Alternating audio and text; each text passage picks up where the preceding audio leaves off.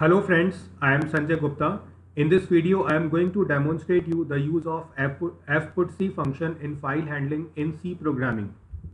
Before starting, you can note how you can search my YouTube channel.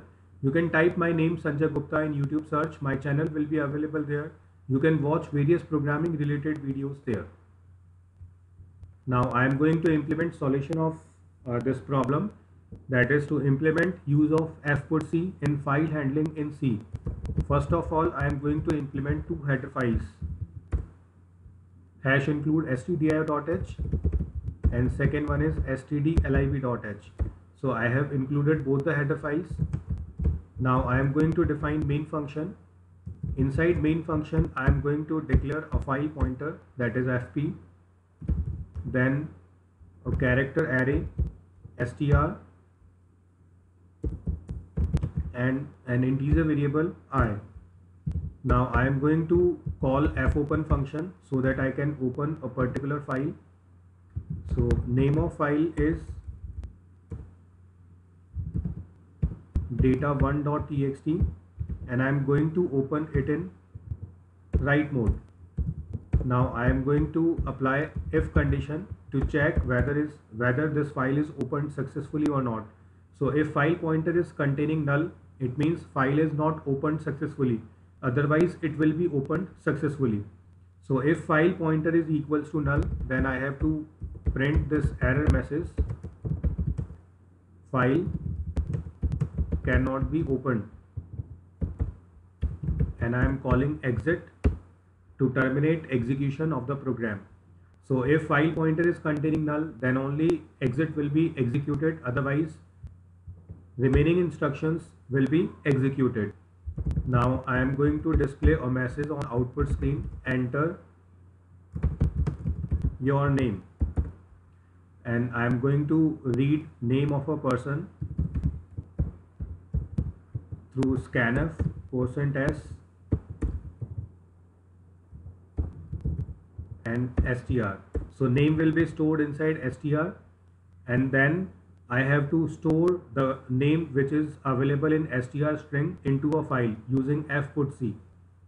So for that purpose I am applying a loop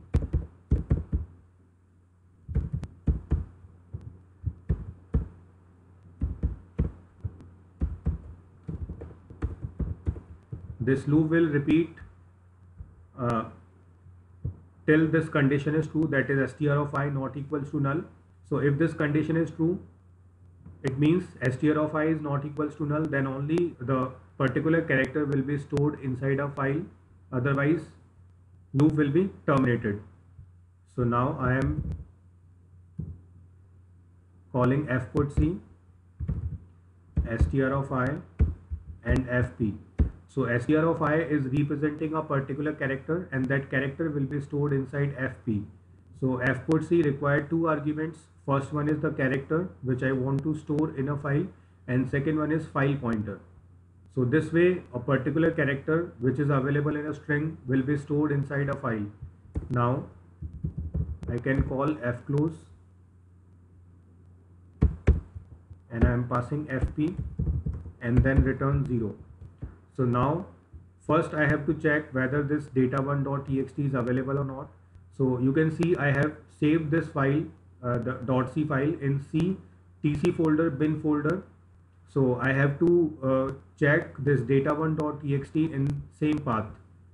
So I am opening this folder ctc bin and I am pressing D.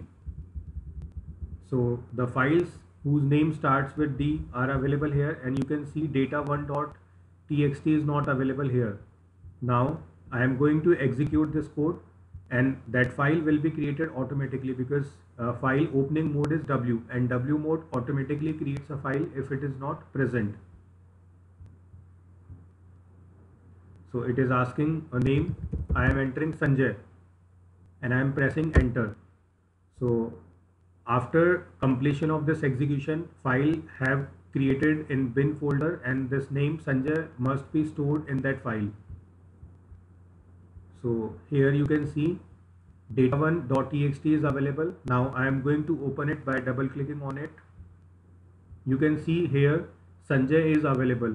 So this way through a program I have received input from user and I have stored that input into a file permanently with the help of fputc.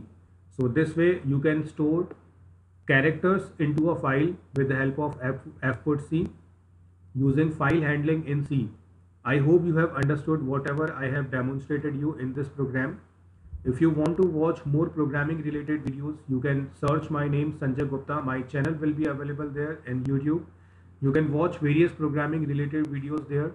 You can also download my programming app that is TechMS. Thank you for watching this video.